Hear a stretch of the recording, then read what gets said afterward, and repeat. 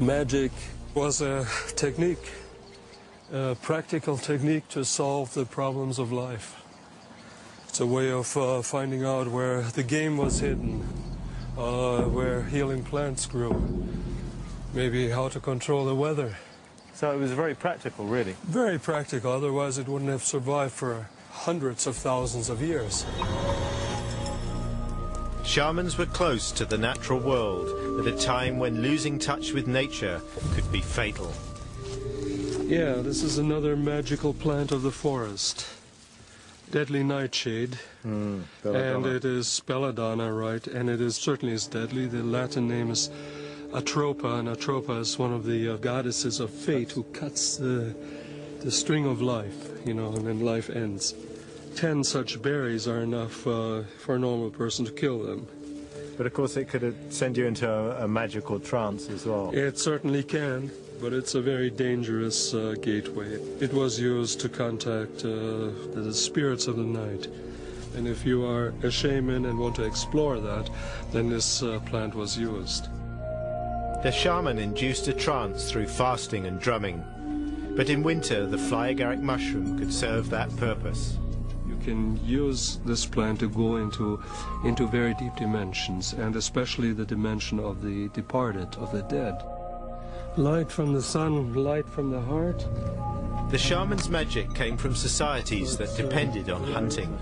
Its purpose to find where prey could be found. And this is my mixture. I use local herbs. And this is mugwort, which is also local. That's uh, juniper. By inducing a trance, the shaman entered the spirit world of the animals and the dead in search of magical insight and wisdom. They went beyond the everyday consciousness in order to find out important things like what the future brings or how are we going to deal with problems. Mm, it smells good when it's just fresh. Magic uh, means being active on another plane of consciousness. If one does this long enough, one would go easily into trance.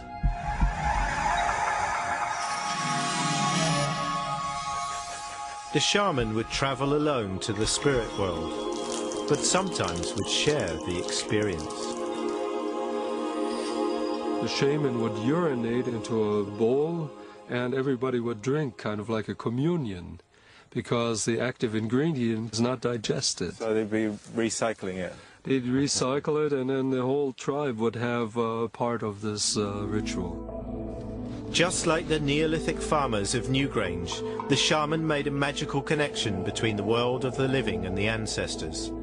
Instead of sunlight, he used magical plants, and it is no coincidence that these mushrooms appear at the time of the winter solstice. It is this time of year that most strongly connects us with our pagan past. We still celebrate this winter festival. The Christian Church adopted this time as Christmas in 300 AD. Now, 1700 years later, its pagan magic has remained virtually intact. There are some folklorists who say the uh, red coat of uh, Father Christmas is uh, really the red coat of this, because during this time of year this uh, was taken. It's a mushroom of uh, good luck.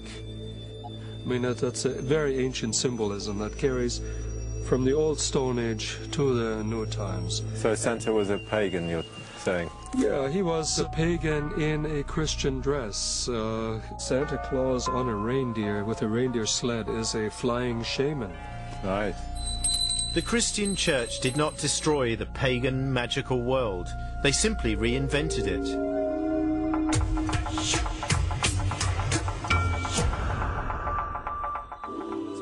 This chapel been here? This medieval chapel is full of pagan symbols.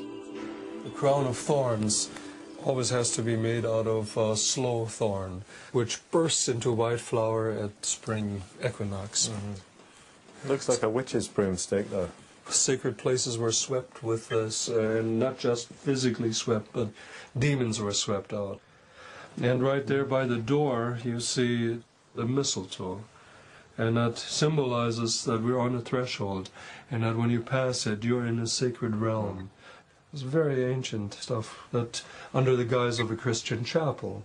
So to me, it's it's not really such a radical break, paganism and Christianity. It's More a of a transition. continuity. It's a continuity. To win hearts and minds, the early church adopted the important pagan festivals. The pagan gods had simply changed their clothes. I have now come full circle on a magical 5,000 year journey from the Neolithic to the dawn of the modern world. We live in the same universe that our pagan ancestors lived in. The sun and the moon follow the same route across the sky, and the seasons all pass in the same way. In the 21st century, we tend to take all of this for granted. We've lost that magical connection with the universe, the natural world, and with our ancestors, and I think we are the poorer for that. Magic comes from deep in our pagan past, but it is still with us today, hidden in folklore, rewritten in Christian rites, and embedded in the calendar of our favourite festivals.